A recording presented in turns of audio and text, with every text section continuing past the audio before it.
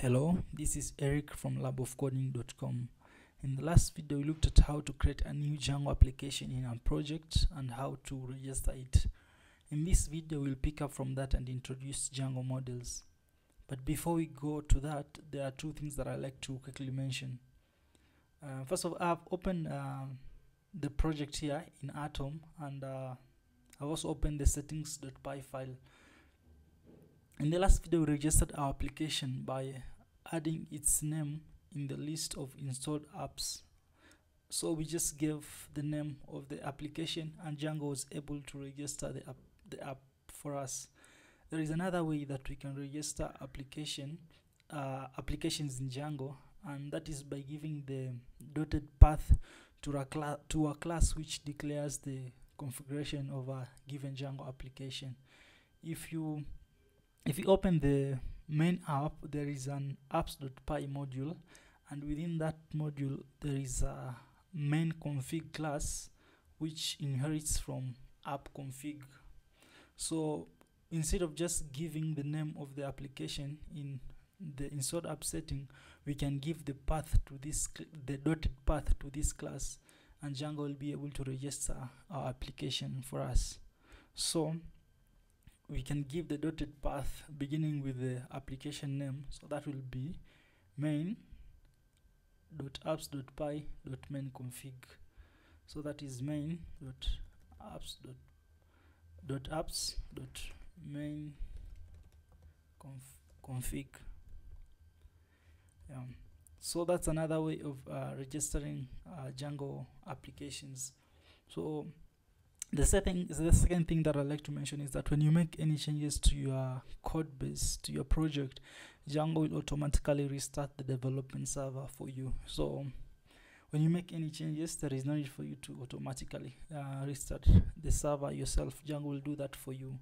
So let's open our development server and see if our project is still running properly on localhost port 8000 so let's open terminal here and um, let's start the development server by python. Manage.py run server.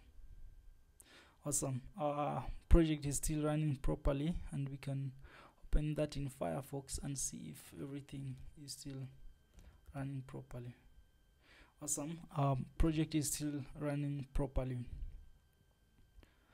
When you make uh, any breaking changes Django will try to restore uh, to restart the development server.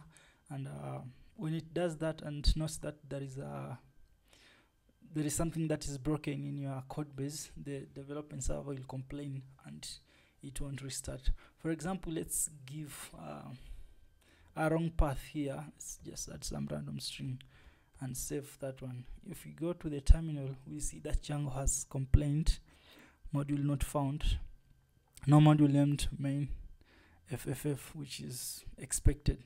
So we can uh, go back to main and save that one. And see that Django has again restarted the development server and everything is back to normal. Yeah. So now let's go to Django models.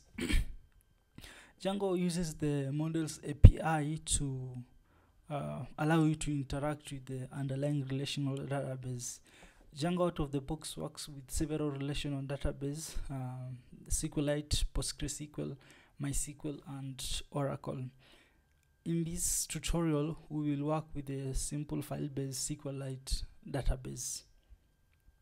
By default, when you create a new Django project, Django usually configures uh, the database in a dictionary known as databases in settings.py.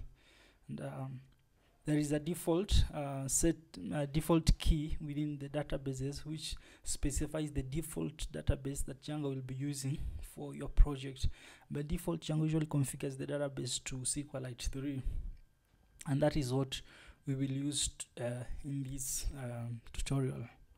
Yeah, so um, usually to create a new uh, table in your underlying database usually create a class in models.py which inherits from a class in uh, a class in models that is models.model so we will create a class here and uh, the Django ORM that is object relational mapper will take care of the rest. Uh, we will see how we will create um, the underlying database table from the class declaration that we will make here. Um, this tutorial is a tutorial on to-dos so um, we'll be creating uh, to-dos and we'll be storing them in a database table. I have created a simple diagram which shows how the class the table will look like and the various columns that it will have. So the table will be called to do's. It will have an id which will be the primary key. It will have a title a description a due date uh, sorry due date and um, done which is a boolean field which just uh, says uh, if the to do has been completed or not. Yeah so uh, the Django models API allows us to declare this as a class in models.py and then we after declaring the class we run migrations. That is we just persist uh, the changes declares declared in that class to the underlying database. Yeah so let's uh, open the Django documentation here.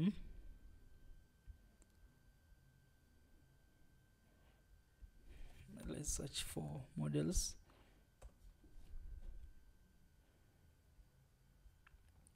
Rather let's search for model fields yeah model field reference. So uh, the class that you declare in models.py usually inherits from models.model so let's create our class that is to do that it inherit from models dot model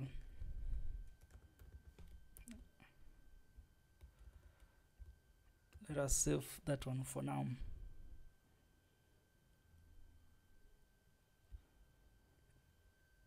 if we go back to uh, the Django documentation uh, we'll see that on the side there is um, field types. Uh, so these uh, field types are the uh, mappings to the underlying columns that uh, the underlying database table will have. So um, for example if we go to our uh, simple diagram here the title which is a simple string field will be a char field and the boolean will be a boolean field and the due date will be a date field and so forth. So um, let's uh, go to our models.py file and declare these uh, fields. So um, the class usually maps to the underlying table and the fields maps to the columns for that table. So our to do will have a title and that will inherit from model uh, sorry that will be a models.char char field. The char field class uh, has a required argument that is a mandatory argument uh, known as max length which is self-explanatory uh, which specifies the number of uh, maximum number of characters it will store. So let's just give an arbitrary value of um, 255 and um, it also has uh, let's go back. It has a, tit a title a description due date and done. So the so the due date is a date field so that will be due. Date it will be a models dot date field. It has no required argument. And the boolean field uh, sorry the uh, done which is a boolean field will be models dot boolean field. Uh, you can specify a default value uh, so when you don't give a value Django will use that as the default. So by default when someone creates a new to do we will set the done field to false. So we just say default is equal to false. And um, we have a description field which will be described uh, just storing some description for the task. Uh, this one will be a models dot text field. Mm. so those are our fields. Uh, you can see there is an ID field which is the primary key which I have not declared here. I have not done that because Django by default uh, when you run the migration unless you tell it otherwise it will create a primary key known as ID on your table. So there is no need for us to do uh, to do that so we have uh, declared our class here. So after you uh, create your new model the next thing to do is to create a migration. Uh, by migration by creating a migration Django just generates the code that the ORM will use to persist the table uh, the table in the database. So let's go to the terminal here and in another tab. So we we create the new migration by a command known as make migration. So that will be python manage.py and the command is make migrations. And if everything is alright Django will uh, generate the migration file for us. Awesome. The migration is has been created. So the migration is usually created where uh, in the app for that uh, where that model is located or where you have made changes for that matter.